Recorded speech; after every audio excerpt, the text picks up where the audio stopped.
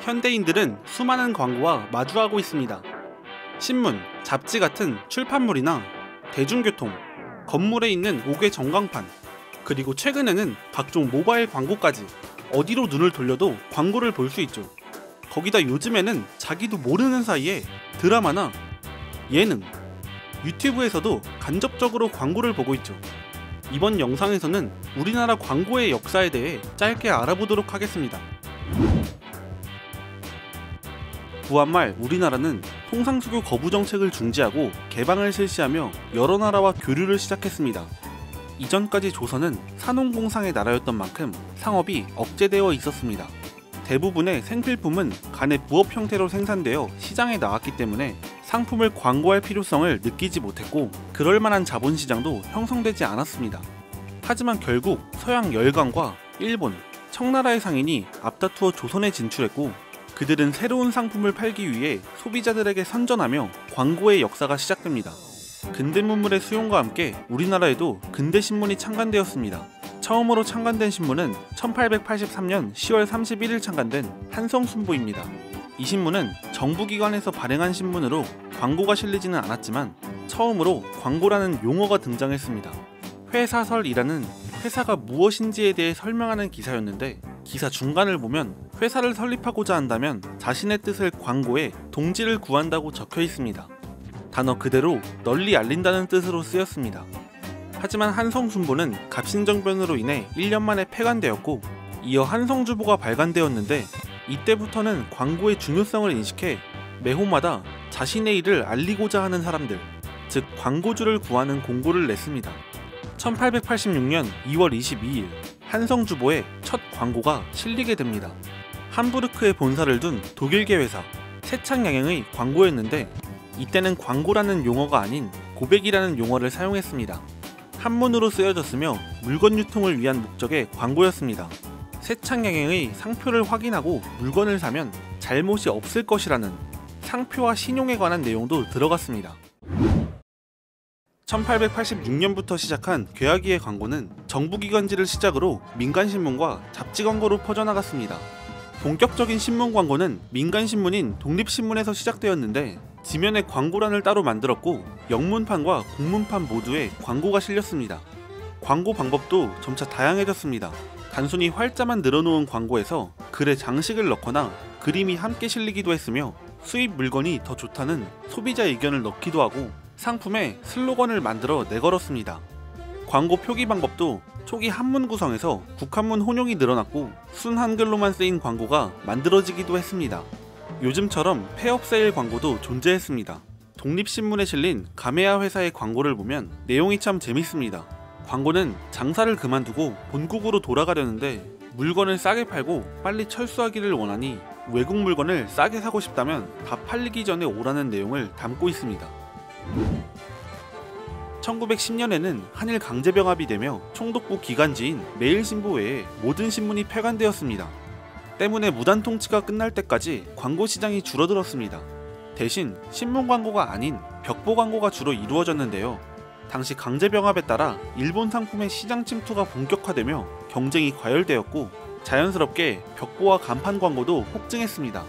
하지만 이에 따라 미간 훼손이 사회 문제로 대두되어 결국 총독부는 1922년 벽보와 간판 광고를 경찰에 허가받도록 법을 개정하며 규제했습니다. 20년대부터는 문화 통치가 시작되며 민간 신문이 허용되었습니다. 광고의 물량은 증가했고 드디어 신문 광고가 보편화되기 시작했습니다. 강제병합 이후부터는 이전처럼 슬로건이나 그림에 더해 저명 인사를 등장시키는 추천식 광고 기법이 활용되었습니다. 일본 식품회사인 아지노모토는 이미 1910년대부터 조미료 광고를 했는데 20년대 후반부터는 이왕가에서 사용한다는 문구를 광고에 넣었고 30년대 이근택의 백보안 광고에는 어떻게 동원했는지는 모르겠지만 여운형, 송진우, 윤치호와 같은 인물이 광고에 등장했습니다. 한편 한국 상품의 광고가 일본 광고에 있어서 디자인이나 물량에서 밀리자 국산품 애용 카피가 등장했습니다. 이 국산품 애용 카피는 시간이 지나 물산 장려 운동 때 활발하게 사용되었습니다. 그러나 이 같은 광고는 점차 총독부의 탄압을 받았습니다. 일제강점기 속에서도 1930년대 전성기를 맞이한 광고 시장은 잇따른 총독부의 강압적인 규제와 태평양 전쟁을 거치며 45년 광복 때까지 내리막길을 걷게 됩니다. 45년 광복을 맞이하고 한국전쟁을 거쳐 한국 경제가 조금씩 성장하며 광고 시장이 다시 살아나기 시작했습니다. 해방된 한국에는 수많은 신문과 잡지가 생겨났으며 56년에는 최초의 TV 방송국인 대한방송이 개국하는 등 다양한 매체가 등장했습니다. TV 방송국이 생겨남에 따라 TV를 통한 광고도 함께 생겨났는데 59년에는 진로소주에서 국내 최초로 CM송을 도입한 광고를 만들었습니다.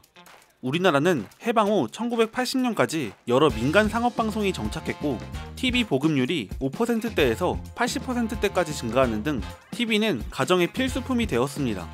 광고 산업도 많은 변화가 일어났습니다. 광고 대행업이라는 신종 산업이 생겨났고 100억 원도 안 되던 광고비는 2,186억 원까지 폭증했습니다.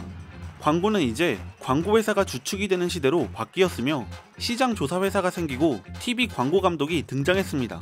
70년대에는 신문에 컬러 광고가 실리기 시작합니다. 해방 후부터 1980년까지 우리나라 광고 시장은 시장 규모가 성장하고 광고주, 매체, 광고회사 3자가 광고 산업을 구성하는 현대적 광고 시대로 정착한 시기였습니다. 80년대에는 우리나라에 드디어 컬러 TV가 보급되었습니다. 또 5공화국 정부가 언론 기본법을 제정하고 언론 통폐합을 진행하는 등 언론이 순환을 겪기도 했습니다. 91년에는 한국 광고 시장이 외국에 전면 개방되었습니다. 오늘날 광고 시장은 온라인 광고 위주로 크게 성장했습니다. 2000년대에는 신문과 TV 광고가 전체 광고 중 70% 이상의 비중을 차지했지만 2019년에는 모바일과 컴퓨터를 합친 온라인 광고가 전체의 42% 비중을 차지하게 되었습니다. 온라인 광고 시장의 성장은 스마트폰과 통신기술의 발달이 크게 영향을 끼쳤습니다. 1886년 첫 광고가 등장하고 한국 광고의 역사는 올해로 134년째를 맞이했습니다. 광고 시장은 꾸준히 성장했고 2019년 120억 달러 규모를 달성했습니다. 세계 광고 시장에서 여덟 번째로 큰 규모입니다. 온라인 동영상 광고 시장 또한 2019년 전년 대비 41.4%나 성장하는 등 꾸준히 성장하고 있습니다. 하지만 시장이 급성장함에 따라 부작용도 일어나고 있는데요. 저질의 게임 광고부터 시작해 온라인에서의 제품 허위 광고, 과대 광고가 눈에 띄게 늘어났고 최근에는 유튜브에서 유료 광고 여부를 미표시한 간접 광고가 문제가 되기도 했습니다. 대부분 소비자들에게 상품을 광고하기보다는 소비자를 기만하기 때문에 문제가 됐는데요. 시장이 커진 만큼 광고라는 말에 본연의 뜻을 되새겨 광고주와 광고회사, 광고를 제공하는 매체까지 모두 성숙한 한국 광고 시장이 되었으면 좋겠습니다.